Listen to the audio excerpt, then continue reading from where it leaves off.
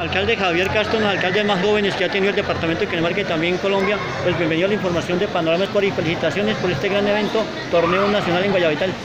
Agradezco el cubrimiento eh, de, de Panorama Sport a este evento a nivel nacional de fútbol de salón, donde el público quedó complacido por el derroche técnico, eh, el logístico, el táctico y la disciplina de estos muchachos para venir a deleitar con lo mejor del fútbol de salón a todos los guayabetalunos. Vimos muchas, muchas figuras, muchos jóvenes acá que próximamente de pronto van a estar en los equipos profesionales también, ¿por qué no? Una selección Colombia. Sí, miren, nosotros somos uno de los municipios de Noriente, Cundinamarca, que más invertimos en las escuelas de formación deportiva. Eso nos ha hecho de que día tras día mejore el nivel eh, de disciplina de estos muchachos y lo mejor, que salvar a estos jóvenes de que caigan en las drogas eh, que azota todos los municipios del país y especialmente aquí en la zona del oriente de Cundinamarca a raíz de la construcción de la doble calzada. El desarrollo trae consigo también nuevos modales, nuevas culturas a nuestros municipios y por eso una de las mejores inversiones que puede hacer el municipio en el presente y futuro son las escuelas de formación deportiva.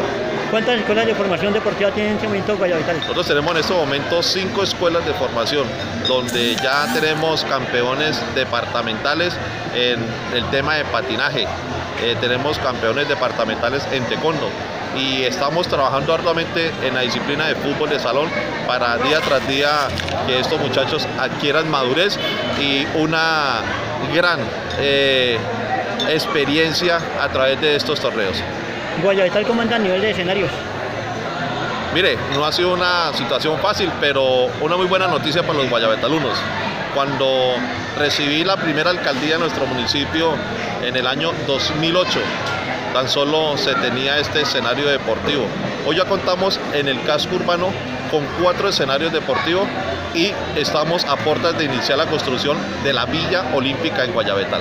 La Villa Olímpica, ¿por dónde está empezando esa obra, la Villa Olímpica? Estamos iniciando más o menos en cuatro meses la construcción de la Villa Olímpica, donde iremos a tener la pista de patinaje, una cancha de fútbol 7, una piscina semiolímpica y unos eh, escenarios para el tema de las otras disciplinas en cultura. La Villa Olímpica, la alcanza a entregar en su administración, de pronto le queda para la siguiente. Bueno, quizás iniciamos con, con, la construcción, así no la alcancemos a, a, entregar, pero dejamos ese legado para los guayabetalunos. Bueno, a nivel turístico, ¿cómo anda Guayabetal? ¿Por qué hay que venir a Guayabetal? Mire, hemos hecho grandes inversiones. Somos eh, la, por, la puerta al llano. Tenemos un clima aproximadamente de 25 a 28 grados promedio eh, de temperatura. ¿Qué hay que hacer en Guayabetal? Tenemos la práctica del cañoning. El segundo, el mayor aventura en el país, lo tenemos allí en el cañón de Chirajara. Tenemos el tema del avistamiento de aves. Tenemos una ave endémica que se llama el tororoy. Por eso, si tuvo la oportunidad de probar eh, el tinto tororoy aquí en la tienda del tororoy, somos segundo a nivel nacional en la mejor tasa de acidez. Y tenemos el tema del turismo ecológico a través de las caminatas. Guayabetal eh, es rico en su, eh, en, en naturalmente y especialmente en la parte hídrica. Bueno, y próximamente también hay con la coordinación de David Urieta, el rolito, van a el torneo también tanto en masculino como en femenino. Sí, queremos ver si podemos inaugurar este escenario, las adecuaciones que vamos a hacer de este escenario deportivo para hacerlo también con una invitación a nivel nacional en la rama femenino de fútbol de salón. Bueno, doctor Javier Castro, un alcalde joven, su segundo periodo, muchas gracias por fomentar el deporte en este municipio.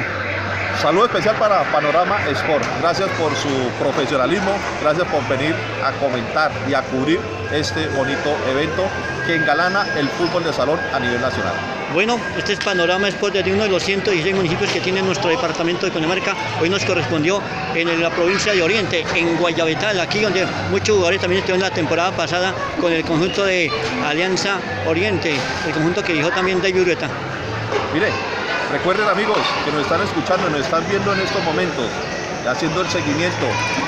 No olviden que la entrada obligatoria a Guayabetal a deleitar la mejor taza de café a nivel nacional. Bueno, muchas gracias. Este fue el informe con Wilson Peña de Panorama Sport, porque Panorama Sport sencillamente hacemos la diferencia.